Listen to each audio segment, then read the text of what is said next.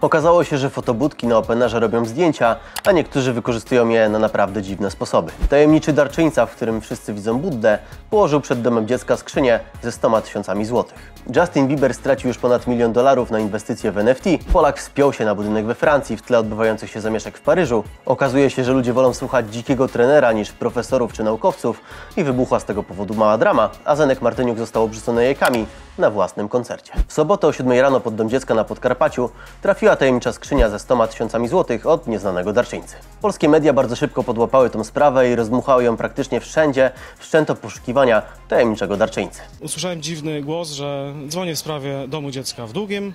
E, Podaję kod 7777. Na Twitterze praktycznie od razu ogłoszono, że musi być to Budda. W końcu w sobotę o 9 rano opublikował post na Twitterze o skrzyni pełnej keszu. Chociaż Budda wszystkiemu zaprzecza i nabiera wody w usta, ale wszystko wskazuje na to, że to naprawdę on, ale nie do końca chce się do tego przyznawać. Wysyłałeś takie rzeczy?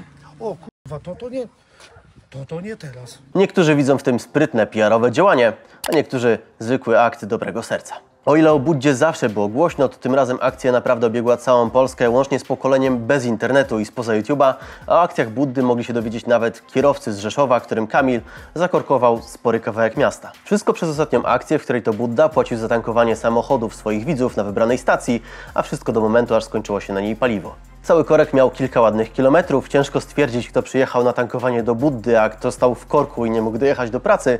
W każdym razie na pewno kilkaset samochodów udało się zatankować. Wszystko wskazuje na to, że całość jest częścią jakiejś większej akcji, a na kanale Buddy już niedługo okaże się jakiś większy, ciekawy film. O ile teraz już w momencie publikowania tego materiału na kanale Buddy się on już nie ukazał. Podczas gdy jedni się bogacą, drudzy w tym czasie całkiem sporo tracą. Prawie milion trzysta tysięcy dolarów stracił sam Justin Bieber. W styczniu Bieber kupił tą oto małpę NFT za grubo ponad milion dolarów. Dokładnie wtedy, gdy cały rynek NFT był mocno przehypowany i jeszcze się stabilizował. A teraz po ponad roku wartość tego NFT spadła ponad 20 razy, prawie nikt już nie chce tego kupować i jej wycena aktualnie wynosi niecałe 60 tysięcy dolarów. To całkiem duża kasa jak za małpę, którą można sobie poskrinować w internecie i mieć tą grafikę wszędzie, ale znam osoby, które na tych małpach NFT naprawdę się wzbogaciły. I są to twórcy tego NFT, którzy sprzedawali je na hypie po zawyżonych cenach takim ludziom jak Bieber. Dałoby się tego uniknąć, gdyby Justin skontaktował się ze znanym specjalistą, ekonomistą i doktorem nauk, dzikim trenerem, o którym zrobiło się ostatnio głośniej niż zwykle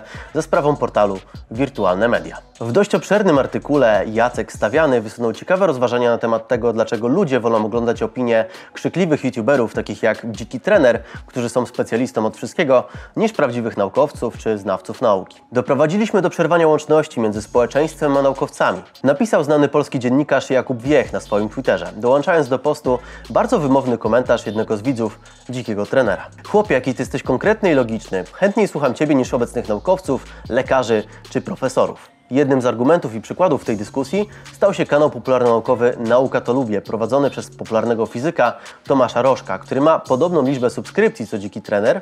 Jednak, jak się okazuje, Polacy prawie dwa razy częściej decydują się posłuchać opinii dzikiego trenera niż szanowanego fizyka. W końcu ciężko gdzieś indziej znaleźć w jednym miejscu, na jednym kanale opinię eksperta od epidemii, Eurowizji, celebrytów, influencerów, żywności, sportu, Maryli Rodowicz czy Ukrainy.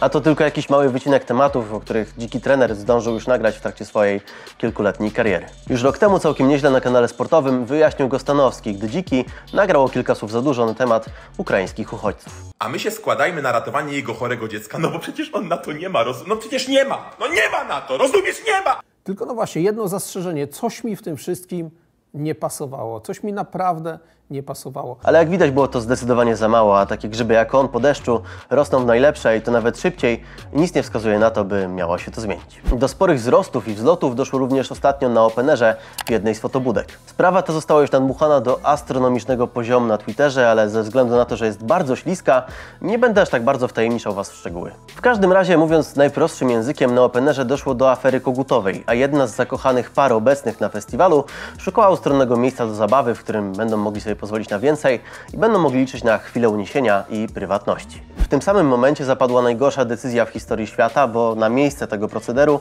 wybrano fotobudkę, z której to, co gorsza, zdjęcia były umieszczane na dużym telebimie w trakcie festiwalu. A to wystarczyło do tego, by ktoś całą sytuację w fotobudce uwiecznił, wstawił na Twitter, a dalsze komentarze i posty poszły już lawinowo. I na tym całą sprawę można byłoby już w zasadzie zamknąć. Nikogo nie powinno dziwić to, że dwie osoby mogą mieć ochotę na coś razem i na chwilę przyjemności? Chociaż śledztwo zaczęły już kanały komentary, a temat rozbija się o to, czy na fotobudce widniała informacja o tym, że zdjęcia zrobione w środku będą wyświetlane następnie na telebimie na Openerze. I czy oni w ogóle wyrazili na to zgodę? Organizator festiwalu zareagował pisząc: Stanowczo dementujemy nieprawdziwe informacje, jakoby podczas tegorocznej edycji festiwalu Opener doszło do publicznego udostępnienia w jakikolwiek sposób, a w szczególności na telebimach, prywatnego zdjęcia zrobionego w fotobudce jednego z partnerów festiwalu. Co jest bardzo dziwne i totalnie niezrozumiałe, bo na zdjęciach z afery kogutowej wyraźnie widać, co jest grane. Widać twarze, wszystko wyświetlane jest na telebimach i uwiecznione na zdjęciach z fotobudki. Nie wiemy jeszcze, gdzie jest głuchy telefon w całej tej dramie, jak tylko pojawi się nowy sygnał w tym temacie, to damy Wam znać. A do innych ciekawych easter eggów Openera można również zaliczyć powrót Gargamela. Lepiej tego nie wie, jak ja, jego sąsiad. Nie, dobra, nie dam rady. Nie, koniec, koniec. Za rok to nagram. Idę mu kurwa, przemówię do rozsądku. Nie, nie, nie. Idę się. Wy wszyscy do BDS-a? Ja będę dzisiaj waszym DJ-em, a wy przeżyjecie najlepszy wieczór waszego p***dolonego życia. Ostatnio bardziej wzniośle niż w fotobudce było tylko w Paryżu, gdy Marcin Banot bez żadnych zabezpieczeń wspiął się na ponad 200-metrowy wieżowiec w Montparnasse. I to nie jest pierwszy tego typu wyczyn Marcina. Już wcześniej wspiął się na warszawski Mariot, wieżę Eiffla i dziesiątki innych wieżowców, kominów, anten w różnych częściach świata. Przez co ma już zbanowany wjazd do wielu krajów. Na szczycie prawie 60-piętrowego wieżowca z tarasu widokowego mógł podziwiać piękny, rozciągający się nawet do 40 km widok. A jak dobrze się przyjrzał, to nawet ogień, wybuchy, zamieszki, które ciągle nie gasną w Paryżu. Twitter obiegły nowe wstrząsające nagrania, w którym to chaos stał się całkiem niezłą okazją do kradzieży i zdobywania rzeczy ze sklepów po całkowitej promocji.